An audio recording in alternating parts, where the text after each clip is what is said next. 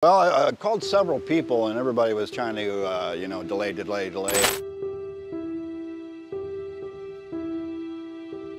Plumbing Nerds was the only one that would come out immediately. I needed help immediately. I had seven tankless water heaters that were all failing simultaneously. The lady who answered the phone was a very polite professional and she got a hold of uh, a couple of nerds immediately who came right out. They were uh, Deshawn and uh, Bella.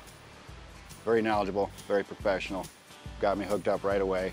Couldn't be more pleased. The other plumbing places were, were telling me a week, 10 days. Uh, Sean and uh, Bella came out within, I'd say at most two hours. Uh, put one tank in for me immediately and came back the following day and put in six more. Got it done, no goofing around, and very well priced. So all in all, five-star experience. I would highly recommend them.